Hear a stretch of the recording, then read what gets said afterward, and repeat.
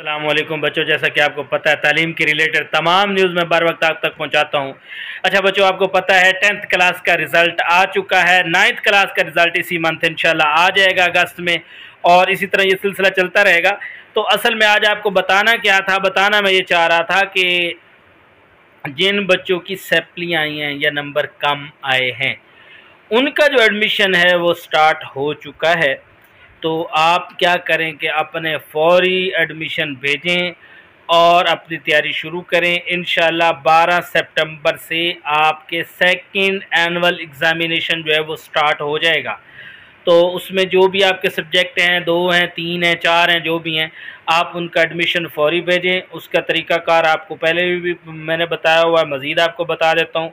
आपने क्या करना है बैथ लॉर की वेबसाइट से वहाँ से जाके अपना जो है ना फॉर्म फिल करना है। उसमें जो चीज़ें आप, वो मतलब मांगेगा, वो पुट करनी है, जो सब्जेक्ट आपने देने हैं, उनको आपने सेलेक्ट करना है।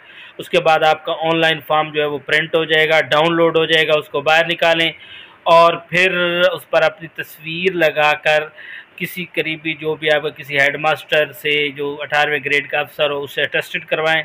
उस पर वालद की फ़ोटो कापी शनाख्ती कार्ड की लगाना नहायत ज़रूरी है। वो लगा के करीबी किसी एच बी एल बैंक की ब्रांच पे उस फॉर्म को जमा करवा दें।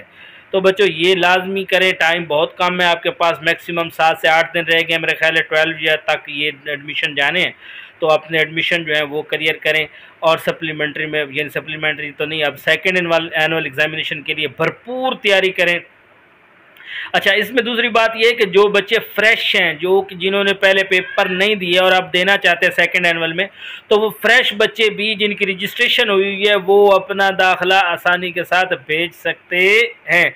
तो उनको भी चाहिए कि अपना एडमिशन जो है वो इसी के थ्रू इंशाल्लाह भेजें और अपनी तैयारी करें, अपना साल जो है वो ज़ाया ना करें। अल्लाह हाफिज़। इसी तरह की जो तमाम वीडियोज़ हैं, वो मैं आप तक पहुँचाता रहूँगा। आपने कोशिश करनी है मेरे चैनल को